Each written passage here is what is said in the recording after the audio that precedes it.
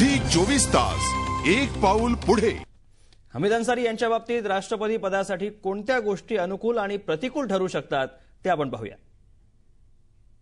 हमीद अन्सारी सध्या भारताचे उपराष्ट्रपती आहेत त्यामुळे राष्ट्रपती पदासाठी उमेदवारी मिळण्याची शक्यता जास्त आहे. मुस्लिम असल्यामुळे समाजवादी पक्षाचा पाठिंबा मिळण्याची शक्यता आहे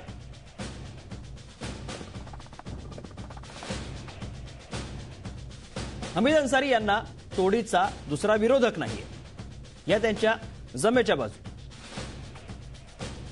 विरोधकांनी मुस्लिम उमेदवार उभा केल्यास अन्सारींना शर्थीचे प्रयत्न करावे लागतील जसं की एपीजे कलाम यांचं नाव भाजपकडून चर्चेत आहे त्यामुळे त्यांना शर्थीचे प्रयत्न करावे लागतील.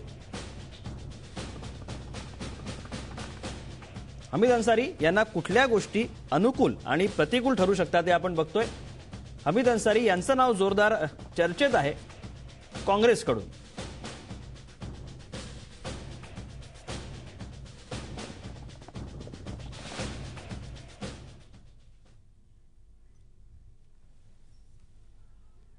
काँग्रेसच्या भूमिकेकडे लक्ष आहे. की हर नीति सर्वजन हिताय और सर्वजन सुखाय को लेकर बनी है।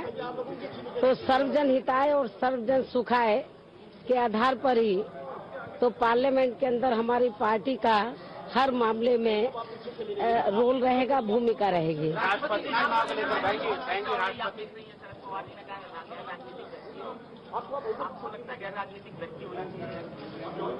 अभी इसके बारे में तो सोच समझ के ही मैं जवाब दूँगी। क्योंकि पहले उम्मीदवार का तो डिसाइड हो जाए कि कौन उम्मीदवार आ रहा है उसके बाद ही हम कुछ कह पाएँगे। वाइस प्रेसिडेंट को ही अपग्रेड करके उनको बनाना चाहिए अंसारी साहब इनको बनाना चाहिए।